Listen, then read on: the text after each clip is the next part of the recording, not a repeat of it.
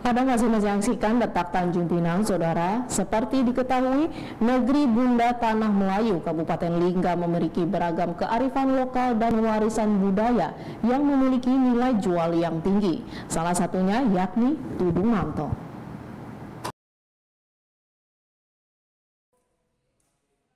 Tudung manto atau tutup kepala diperkirakan sudah ada sejak 1775 yang silam pada zaman Kerajaan Melayu Riau Lingga yang berkuasa di Semenanjung Melayu.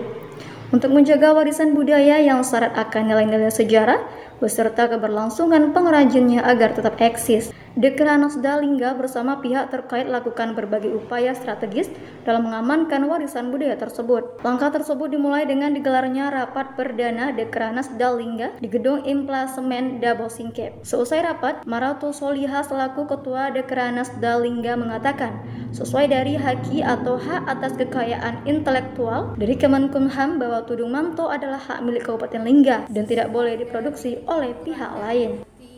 Dari Kemenkumham bahwa memang e, Tudung Manto itu adalah hak milik Kabupaten Lingga dan adanya Tudung Manto itu sejak tahun 1978. Jadi e, dari aturan Kemenkumham itu Tudung Manto itu tidak boleh diproduksi oleh selain e, Kabupaten Lingga.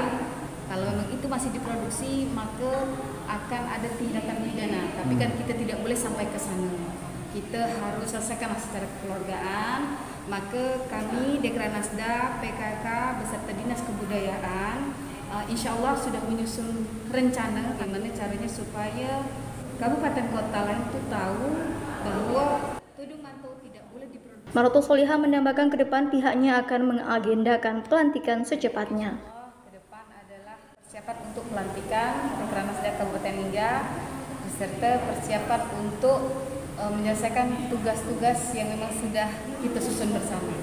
Wah. Target Dekranasda Kabupaten Lingga itu adalah tiga hal. Hmm. Yang pertama itu adalah masalah tudung manto, kemudian batik lingga, kemudian yang ketiga adalah uh, tenun. Dekranasda yang merupakan wadah bagi pengrajin sekaligus mitra pemerintah semestinya harus mampu untuk menggali serta melestarikan warisan tradisi dan budaya tempatan yang tercermin dari berbagai produk lokal, sehingga eksistensi keakraban lokal tetap terus terjaga sampai ke anak cucu.